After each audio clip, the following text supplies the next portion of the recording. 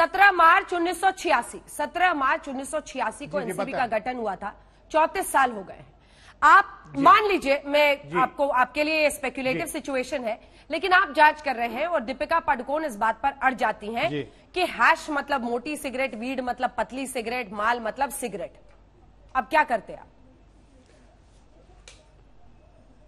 देखिए मैं इसमें एक इंटरेस्टिंग बात ये बताता हूँ कि आप भी ordinary person with ordinary prudence हैं। जो जनरल कॉमन सेंस और प्रूडेंस है।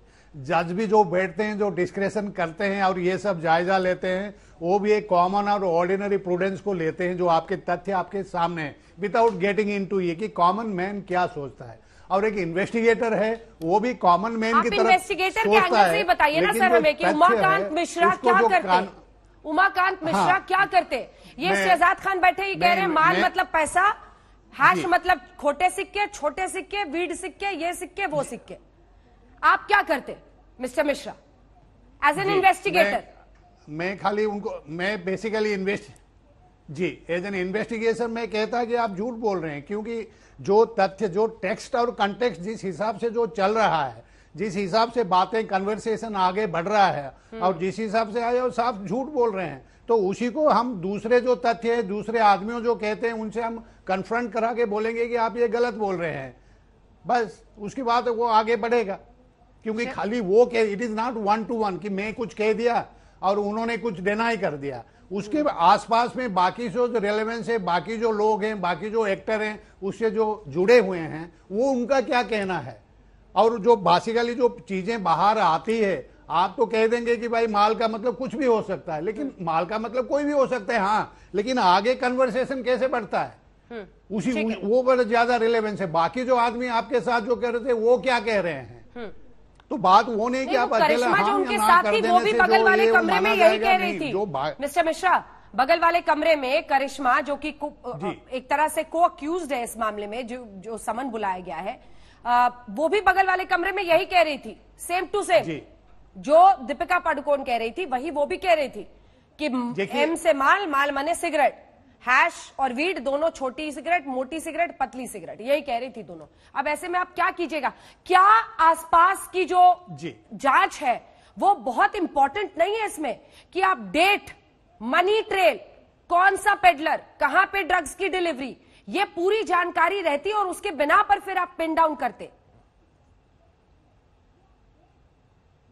जी बिल, बिल्कुल देखिए एक एविडेंस जो है स्टैंड अलोन बेसिस में कभी अप्रेज या इवेलुएट नहीं होता। बिल्कुल। उसका रेलेवेंसी डिटरमाइन किया जाता है। बाकी जो तथ्य आपके सामने है उसको जुड़ते हुए क्या मीनिंग निकलता है बेसिकली वो अल्टीमेटली जाके रुकते। देखिए कानून तो एविडेंस के ऊपर चलेगा। हाँ। क्या एविडेंस आप प्रूव कर पाएँगे?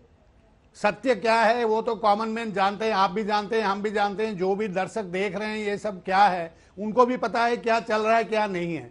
लेकिन हम कानूनी तौर पर बात करेंगे इन्वेस्टिगेशन के तौर पर बात करेंगे जो चीज़ हम प्रूव कर पाएँगे ड्यूरिंग इन्वेस्टिगेशन उसी का भी महत्व रहेगा। बिल्कुल। तो जो वो प्रूव हो पाएगा जो डिसूजा और ठीक जो हम पूरा। प्रूव कर पाएँगे या नहीं कर पाएँगे। एंड्रिया डिसूजा जो बातें हाँ, प्रूव होंगी क्या एनसीबी के पास है मैं कोर्ट में जाएगा मामला कोर्ट में जाएगा।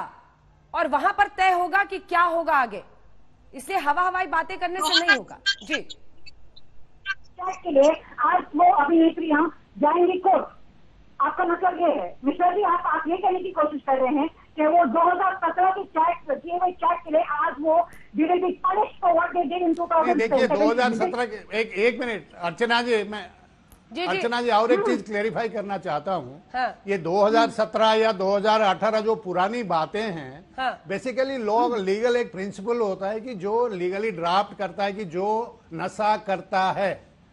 अगर वो जो नशा करता है इसका मतलब है कि जो वर्तमान में कर रहा है उसी को ही हम पेनल्टी देंगे। देखिए लीगल ड्राफ्टिंग में जो टेंस है टेंस के साथ टाइम का कोई रेलेवेंस नहीं है। आप चाहे एक साल पहले मर्डर किया हो आप पाँच साल पहले मर्डर किया हो एक साल पहले ऑफेंस किया हो या दो साल पहले ऑफेंस किया हो वो कानून के जो वर्ब यूज़ होते हैं उसमें आपने ऑफेंस कमिट किया है तो इन्वेस्टिगेशन होगा।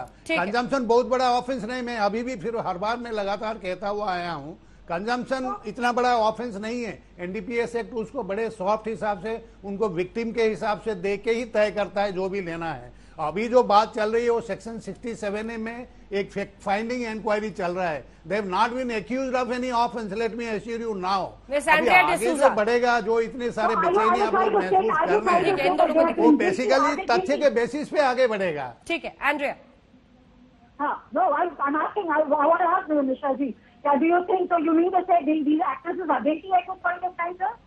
Hindi Hindi Hindi में आज सर, तक के हिंदी आप दर्शक आप, आपके हिसाब से आपको लगता है कि क्या ये एक्ट्रेसेस गिल्टी हैं क्या ये आ, ये जो इनको इनका जुर्म साबित होता है आपको आपके हिसाब से क्या ये मुजरिम है फ़िलहाल मैं तो मैं मैं एक ही कमेंट कहूँगा कि everybody is innocent until proven guilty कोई बड़ा आम बात है। अभी इस वक्त इन्वेस्टिगेशन चल रहा है। मैं अगर अभी से अभी से मैं बैठक अभी से मैं ट्रायल करके मैं कोई जजमेंट देना नहीं चाहता। I will only tell everybody be everybody is innocent until proven guilty